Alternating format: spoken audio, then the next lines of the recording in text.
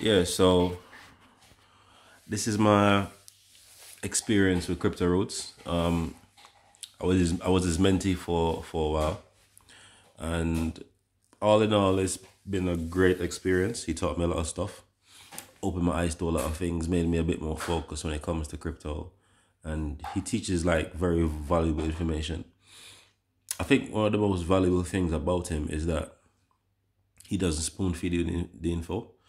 Um, he get it basically gives you um would like to say homework every week, some things that you have to look up, research in your own time, and then get back to him. And if there's anything you missed, he'll go over it with you, and you know even with the things that you found, he'll go over with with, with you and everything.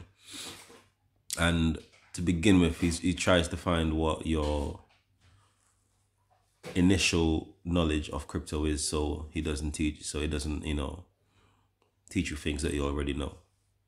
So yeah um he's he's been amazing so far. So definitely check out that crypto boot camp